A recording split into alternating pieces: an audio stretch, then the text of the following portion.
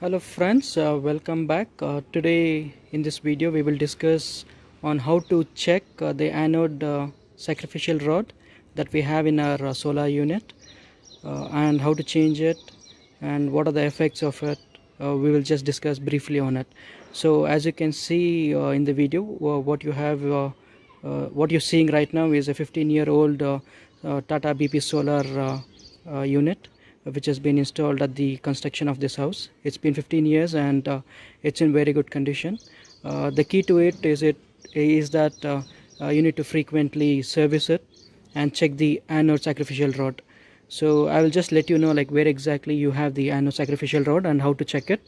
Uh, before that uh, as a safety precaution if you have a heater coil which is connected to the solar please disconnect it or switch off the heater coil and also make sure that uh, you turn off the inlet uh, uh, water which is through this one. So if you have a valve here or a ball valve make sure you turn it off because the entire system is bit pressurized and water might gush out.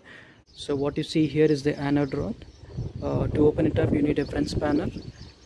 So with the help of the French spanner carefully open it up and uh, after opening it up uh, look at the condition of your anode rod. So this is the condition of my anode rod which I just replaced it.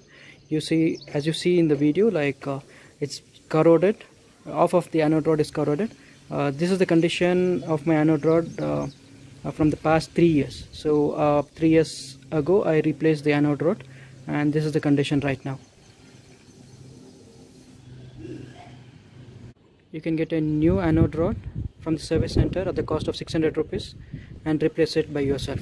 So what happens if you don't replace an anode rod or the sacrificial rod? What happens to your uh, uh, pipes and uh, uh solar panels? I'll just uh, show you an example of what exactly happened. So this was the initial pipe unit which we installed. As you can see um, as you can see now the sediments have almost eaten up everything so there is barely any gap for the water to flow into the pipes. So you see the rust how much uh, it has been acquired. So it's uh, if you don't replace the anode rod this is the condition it happens. So this happened to our unit previously.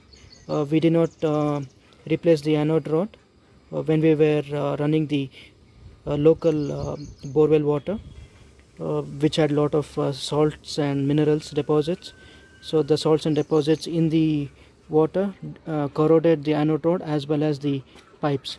So this took us a lot of amount of I mean, it it it uh, incurred a lot of cost and uh, we we had to replace the entire pipe unit. Uh, thankfully we uh, we did not have any kind of issues with the uh, the copper pipes which are there on the solar panels. So that saved us. So it is always better you have a check on your anode rods or the sacrificial rods once a year